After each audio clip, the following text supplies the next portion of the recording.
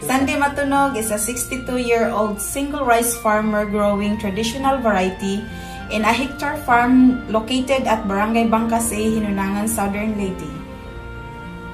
His farm was earlier dug for treasure hunting but nothing was found. Because of his continuous learning through seminars on sustainable agriculture, he makes his land more productive and sustainable through the application of diversification and organic farming. His burning interest to make things better were simply irresistible. The challenges he faced was his area.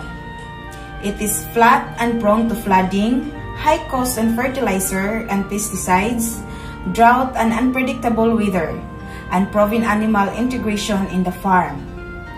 As a solution, he started container gardening as climate change adaptation and mitigation, measuring floods. He locally innovates his own tea, formulated organic fertilizer and natural pesticides to improve plant vigor and effective insect repellent. He modified multi-story cropping by placing container-based pichay under the trellis of upo. Then, he integrated Korean pig grazing into the farming system and used the composted beddings of the pigs as organic fertilizer. He worked hard to establish an organic farm, established a native tilapia pond, and learned that a local snail kuhol constitute a nutritious feed for tilapia when mixed with rice bran. The pond water is also used for his farm during dry season. Planting of fruit trees and legumes are used as windbreaks and as a source of green manures. Vermicomposting as a source of organic fertilizer.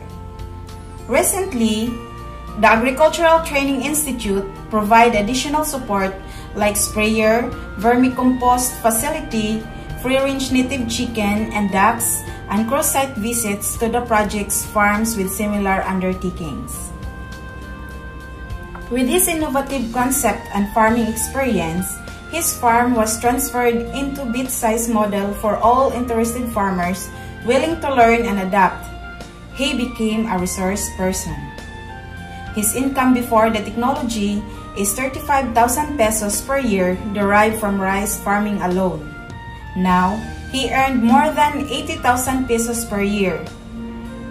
Organic farming takes time but with far bigger rewards. Learning doesn't stop when technology is applied. Technology adoption plus actual observations plus experience plus will to innovate equals effective location to good agricultural practices.